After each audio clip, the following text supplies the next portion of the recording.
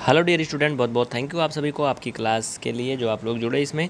ध्यान से देखिए, आपको बता दें, आज ये क्लास फोर का लास्ट चैप्टर होगा, क्योंकि अब क्लास फोर में कोई ऐसा चैप्टर नहीं जो आपको सिखाया जाए, जो आपके सीखने लायक है। बाकी जो कहानी वगैरह आपने देख ही लिया हाँ तो कल से आप क्लास फाइव का देखेंगे अगले में। तो ये आपका लास्ट चैप्टर है प्ले विथ पैटर्न ये बड़ा महत्वपूर्ण है, चूँकि यहाँ रीजनिंग की शुरुआत होती है इसी पैटर्न से। देखो, अक्सर आप लोगों ने बहुत सी चीज़ें इस तरह से देखा होगा, साड़ी में देखा होगा, जो मम्मी लोग पहनती हैं, उसमें देखो किनारे किनारे फूल बना होता है, गुलाब बना होता है, या कुछ भी चीज़ें ऐसे लाइनिंग वगैरह बनी होती है ना, जिन्हें बोलते हैं साड़ी का किनारा, है ना? ये होता है।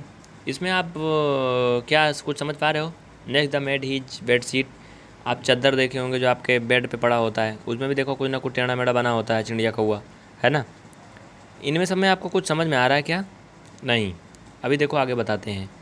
He also made the dupatta with the same block आपने देखा होगा जो गर्ल्स वगैरह दुपट्टा लेती हैं जिन्हें चुन्नी, ओढ़नी, पता नहीं क्या क्या बोलते हैं, ये सब चीज़ें में, उनमें भी देखो मतलब बना होता है ना, ऐसे कुछ ना कुछ चीज़ें बनी होती हैं, है ना?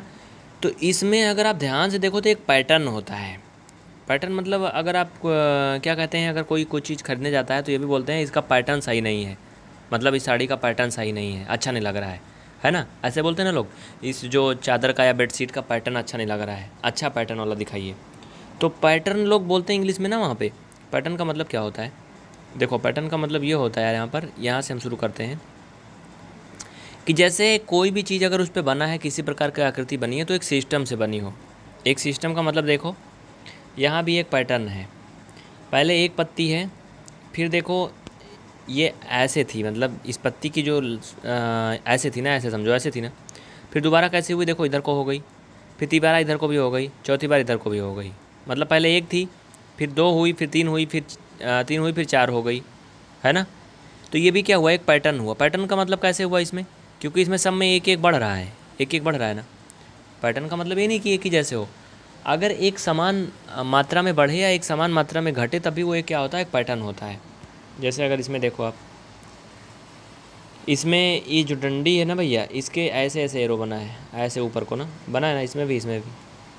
फिर इसमें देखो, इसमें दोनों में किसको बना है भैया? इधर साइड को बना है ना, इधर को। फिर इसमें दोनों में ऊपर को बना है, तीनों में ऊपर को बना है। देखो, अगर ध्यान दो एक बार, थोड़ा सा रुको। इसमें देखो, दो में ऊपर को पैटर्न बना है, इसमें दो को नीचे को बना है, इसमें तीन में ऊपर को बना है, तीन में नीचे को बना है। यानी ये पैटर्न है। क्या है? ये पैटर्न है। लेकिन अगर इसमें ऐसा हो जाता कि यहाँ पर दो में ऊपर को आ, मतलब एरो ऐसे बना था एक में नीचे को बना था फिर इसमें तीन को ऊपर को बनता इसमें दो को नीचे को बनता तो ये पैटर्न नहीं था फिर गलत हो जाता। लेकिन ये एक पैटर्न बना रहा है। इसमें भी वैसे एक पैटर्न बन रहा है। है ना? बन रहा कि नहीं बन रहा? देखो ध्यान से पैटर्न बन रहा है कि नहीं? पहले ये इधर एक कलर था फिर उसके बाद ये क्या हुआ? इधर कलर हुआ फिर इधर कलर हुआ। मतलब पहले इस पर था फिर ये इसको देखो छोड़ दिया इस पर आ गया। फिर इस पर आ गया। मतलब एक एक भाग रहा है, ऐसे जैसे लग रहा है घूम रहा है। पहले यहाँ था, फिर यहाँ आया, फिर यहाँ आया, फिर अब कि यहाँ पहुँच जाएगा। यानी अगले में जो बनेगा वो कहाँ कलर होगा, पता है आपको? अगले में जो बनेगा ये चीज़ कलर होगा ऊपर।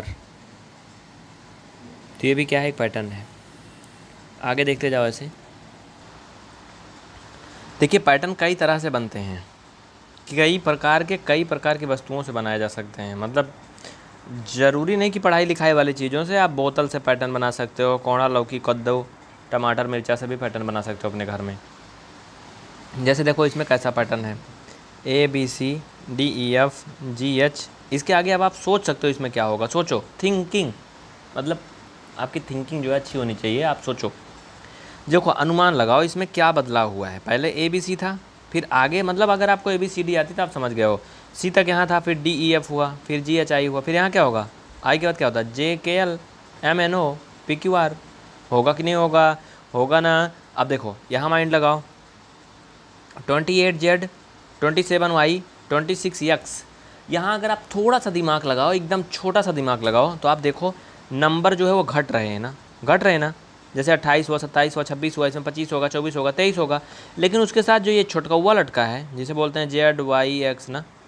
मतलब वेरिएबल्स वो भी देखो घट रहा है, वो भी जेड से शुरू हुआ है। पहले जेड था, फिर वाई था, फिर एक्स था। फिर इसमें क्या होगा? डब्लू के बाद एक्स आता है ना? तो बच्चा लोग, इसमें डब्लू होगा, इसमें यू होगा, इसमें वी होगा, ऐसे तो होगा ना? V U W X Y Z पहले हम लोग उसको पढ़ते थे U V U V W ऐसे पढ़ते थे। आप लोग क्या पढ़ते थे बताना अपने बचपन में? क्योंकि बचपन की बहुत सारी यादें हैं जो अभी भी आती हैं कभी कभी अगला क्या है देखो? आठ सौ चौंसठ, सात सौ चौंसठ छः सौ चौंसठ। अब इससे आप माइंड लगा के हमें ये बताओ, इसमें क्या भरेंगे बच्चा, इसमें इसमें क्या भरेंगे? कमेंट करके फटाफट बताओ। बड़ा मज़ेदार है यार ये, बहुत मज़ेदार है ये। बस आप सोचो और बताओ फटाफट। चलो, आगे चलें? ओके आगे देखो, अगर नेक्स्ट स्टेप पे हम बढ़ते हैं तो इसमें भी आप समझ गए होंगे। नौ के बाद एक सौ नौ है, फिर दो सौ नौ है। कितना कितना बढ़ रहा है? देखो तो सौ सौ बढ़ रहा है ना सब। Now write your own pattern इसमें अपना पैटर्न बनाना। अब मैंने कुछ बताने वाला हूँ। इसको खुद से बनाना, ठीक है? आगे देखो मैं एक पैटर्न विदाउट नंबर इसमें पैटर्न बनाओ बिना किसी नंबर के। मतलब ए बी सी डी वाला ही बना लो। हाँ? बना लोगे ना? नो नंबर कम्स टू इस इसमें कह रहा है, अब भैया कोई गेम खेलने वाला आ गया। Look at the number box can you see a pattern क्या इसमें आप कोई पैटर्न देख रहे हो? बोलो, एक, दो, तीन। तीन, एक, दो। भैया, ये तो पैटर्न नहीं है। दो तीन एक। अब बताओ, कोई पैटर्न है? बोलो। Now you can try writing the letter A B C in the boxes so that no letter comes twice in a line इसमें भी ऐसे बताना। हाँ? उसके बाद आगे चले मैजिक पैटर्न पैटर्न कई प्रकार का होता है, कई चीज़ों से बनाया जाता है। Look at the pattern of number one two seven see how each line added up to twelve अब बताओ। एक, दो, तीन, चार, पाँच, छः, सात। इसमें देखो। Now you fill these star use number one two nine and the rule that the number in each in add up to fifteen ये कहानी समझ रहे हो कि नहीं समझ रहे हो? ये बताओ। मैजिक पैटर्न आपको नहीं समझ में आ रहा होगा ना? कह रहा look at the magic pattern of number one two seven see how each line adds up to twelve कैसे एक से सात तक ये लिखा गया है? अब ये आपको देखना है। और इसी तरह से आपको क्या करना है? इसमें भी ला के बनाना है तीन तीन छः तीन, नौ। ये तो फ़िलहाल आप कर लेंगे ना। ट्रायंगल वाला एक पैटर्न होता है। ट्रायंगल वाले में देखो क्या है। तीन, चार, धन, दो, चार, तीन, सात, दो, नौ। तो पैटर्न इस तरह से कई प्रकार के होते हैं। अगर आपको इसमें कोई भी नहीं समझ में आ रहा तो आप उसे ज़रूर बताना। व्हाट्सएप पे पूछ लेना। हाँ? देखो, सब मैं ही बता दूँ तो नहीं अच्छा इसको आप खुद से करना और बताना। ठीक ना? तो आगे चलें। अब देखो, इसमें इसमें भी वही पैटर्न बनाना है। और क्या है? पैटर्न बनाना है। Right now use numbers first two six to make your own magic triangle rule numbers on each side must up to ten up to ten होना चाहिए ईच साइड प्रत्येक साइड नंबर का टावर बनाना है इसमें। देखो, यहाँ पे आपको काफ़ी कुछ समझ में आ रहा होगा क्योंकि कई टावर बने हुए हैं। है ना? यहाँ पर हर जगह एक एक रूल है अलग अलग आप देखो, इसमें using the same rule complete these number tower पाँच, दस, पंद्रह, बीस, हुआ है ना? फिर देखो, बीच में वहाँ पच्चीस चला गया। आप कैसे करोगे? सोचो, कैसे कंप्लीट होगा? एक, दो, तीन, चार, पाँच। तो ये बहुत आसान पैटर्न है। वैसे आपको थोड़ा कम समझ में आ रहा होगा, मुझे पता है तो मैं इसको बता देता हूँ। यहाँ पे ध्यान दो। इसमें क्या कह रहा है? ऊपर देखते हैं हम लोग। कह रहा है now use numbers one two six to make your own magic triangle rule number on each side must add up to ten ये कहानी यहीं से समझो। कह रहा look at the number pattern of numbers one two seven and how is line adds up to twelve कहने का मतलब एक से सात तक लिखे पैटर्न बनाओ, लेकिन प्रत्येक लाइन जोड़ने पे बारह आना चाहिए। जैसे देखो, दो, तीन, पाँच, सात, बारह। पाँच, एक, ये छः और छः बारह। देखो, ये लाइन को जोड़ने पर पूरा बारह आ रहा है, इसको जोड़ने तब भी बारह आ रहा है। मैं सोच रहा था इसको ना बताऊँ, छोड़ दूँ, लेकिन मेरा छोड़, बताए काम नहीं चलने वाला है। तो इस तरह से इन्होंने क्या किया? एक से सात तक का अंक प्रयोग किया और प्रत्येक लाइन को जोड़ने पर कितना आया? बारह आया। इधर भी जोड़ने पर बारह आएगा, देखो। पाँच, चार, नौ, तीन, बारह। इसी तरह से ये भी कह रहा है बच्चा लोग कि आप एक से लेके नौ तक इसमें गिनती लिख के भरो और प्रत्येक लाइन को ऐसे जोड़ें तो पंद्रह आए। ऐसे जोड़ें तो क्या आए? पंद्रह आए। इधर से पंद्रह आए, इधर से आए, हर जगह क्या आए? पंद्रह आए। इनको भर के बताओ फटाफट। चलो। सोचो कि अगर हम इसमें भरते हैं ऐसे, एक, दो, तीन तो तो बच्चा ये लाइन जोड़ने पंद्रह आएगा ही नहीं। हाँ? अगर मान लो हम इसको ऐसे भरते हैं छः, सात, आठ, तब तो पंद्रह ज़्यादा हो जा रहा है ऐसे। तो कैसे भरेंगे, कैसे करेंगे, ये सोचो, ज़रा थोड़ा से विचार करो। उसमें अगर आप देखो तो टेढ़ा मेढ़ा हर तरफ़ से बारह आ रहा है, चाहे जिधर पे जाओ हर तरफ़ से ट्वेल्व आ रहा है। इधर से इसको देखोगे तब भी क्या आ रहा है? बारह आ रहा है। इधर से इसको देखो तब भी बारह आ रहा है। और बच्चा लोग, अगर तुम इतना ही नहीं, अगर इधर से भी देखो ऐसे, तब भी क्या आएगा? ट्वेल्व ही आएगा ये। मतलब हर दृष्टि से क्या आएगा? ट्वेल्व ही आएगा। तो वैसे इसमें भी करना है, चारों तरफ़ से पंद्रह आना चाहिए। सोचो कैसे लिखे हम लोग, थोड़ा विचार करो।